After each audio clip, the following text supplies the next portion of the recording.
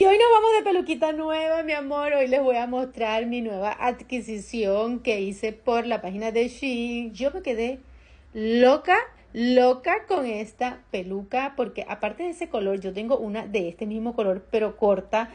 Miren eso.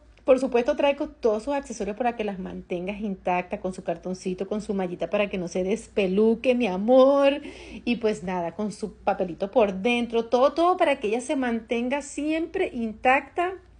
Lo máximo. Miren ese acabado por dentro. Además trae sus pincitas en la parte de atrás para mi amor que la des hasta abajo. Y miren ese largo. ¡Ah!